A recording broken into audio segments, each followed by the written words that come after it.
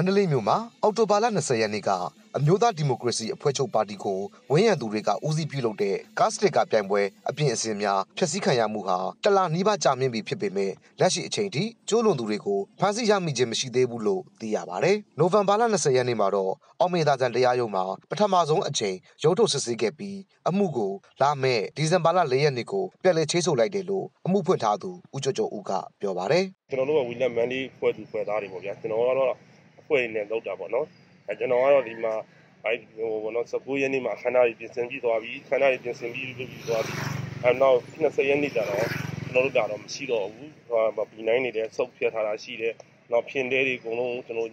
ကျုံနဲ့ဦးချထားတာချထားတာတွေ့တယ်အဲနောက်ဆိုသူတို့ဖြတ်စည်းသွားတဲ့ကျွန်တော်တို့ဓာတ်တစ်ချောင်းပါတယ်တန်တွင်တစ်ချောင်းပါတယ်ဒါကိုလည်းကျွန်တော်စခန်းကိုပင်းသိမ်းခဲ့ပါတယ်အဲအဲ့ဒီမှာနေကျွန်တော်အမှုတိုင်းမှာနေဖွင့်တယ်အမှုဖွင့်တော့စခန်းမှုကနေပြီးတော့တခါ ဒီဟာကိုကျွန်တော်တို့ဝီလမန်လေးရပြီးတော့တရားရုံးဥလိုက်ရှောက်ရမယ်ဆိုပြီးကျွန်တော်20ရက်နေ့မှာကျွန်တော်ဥလိုက်အောင်ရှောက်သွားပြီးရှောက်ပါတယ်ရှောက်တော့ခါကျတော့ကျွန်တော်ကိုစစ်ဆေးပါတယ်အဲ့ဒါကဘာကြီးပစ္စည်းတွေလဲဘာလောက်ကုန်ကြစိတ်ရှိတယ်လဲဒါလေးရစားပါနော်ကျွန်တော်ဒီမန်လေးသူမန်လေးသားများလုတ်တဲ့ပွဲမန်လေးမှာထင်ကြရနေရာမှာလာလုတ်တဲ့ပွဲမှာအမတန်မှတိတ်ခါကြအောင်လုတ်တဲ့ခံရတဲ့ထိကိုခံစားလို့ကျွန်တော်တို့ဒီမှာလာရောက်မှုဖွင့်ပြီးတော့ဒီနေ့20ရက်နေ့မှာရုံးချင်းပြန်ပြီးတော့တာခဲ့တဲ့သူပြန်၄ရက်နေ့ပြန်ချိန်လိုက်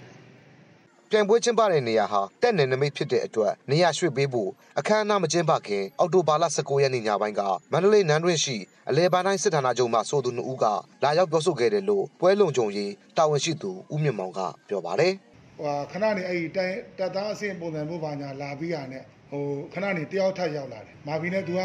ဒီ viewer မူပါပေါ့အဲ့လိုပြောသွားတယ်ပေါ့ဒါဘသူမိန်နဲ့လောက်တာလဲပေါ့ကျွန်တော်တို့လည်းဘာမှအကြောင်းမကြားဘူးပေါ့ဟို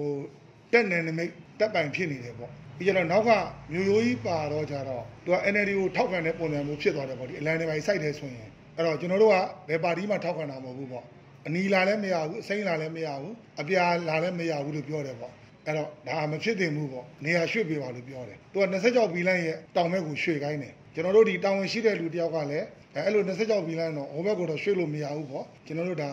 ပြင်းစင်ထားတာပေါ့အဲ့တော့ဒီမှာပဲလောက်ရမှာပေါ့အဲ့လိုပြောပါတယ် လက်ရှိအချိန်မှာတော့တရားခံတွေကိုရှာဖွေတွေးရှိခြင်းမရှိသေးတာကြောင့်တရားရုံးချိန်မှာရချင်းထပ်မံတောင်းဆိုပြီးဆက်လက်ရှာဖွေသွားဖို့ရှိတယ်လို့အော်မေတာဇန်မြို့နယ်အမှတ်နှစ်ရဲစခန်းတာဝန်ရှိသူကပြောပါတယ် CCTV ကကျွန်တော်တို့ကိုယ်တိုင်လိုက်ကြည့်ထားတယ်အမှသူတို့လာတိုင်တော့ CCTV မပေါ်ဘူးလေကျွန်တော်ဒီတိုင်းမှရှိရကျွန်တော်တို့လိုက်စစ်စစ်တော့ဓာတ်ပုံတွေတော့ရတာပေါ့ဓာတ်ပုံတွေကညာပိုင်းအချိန်ဖြစ်နေတော့ဝါးနေရကြဝါးနေတယ်ဆိုတော့တေချာအောင်တော့မဆက်ပြီးတော့လိုက်နေတော့မှရှိတယ်မှာ ပြိုင်ပွဲမတိုင်ခင်ညကအခမ်းအနားပြင်ဆင်များဖျက်ဆီးခံလိုက်ရပေမဲ့အော်တိုဘာလ20ရက်နေ့မှာတော့ပြိုင်ပွဲကိုဆက်လက်ကျင်းပခဲ့ပြီးပြိုင်ပွဲဝင်ကားအစီရေ290ကျော်ရှိခဲ့တယ်လို့သိရပါတယ်ခင်ဗျာ။